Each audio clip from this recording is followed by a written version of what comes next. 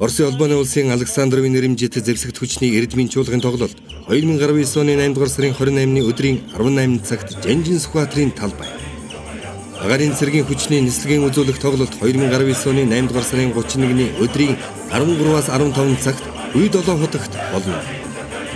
Иргэд та бүхнийг хүрэлцэн эрхийг өрж байна.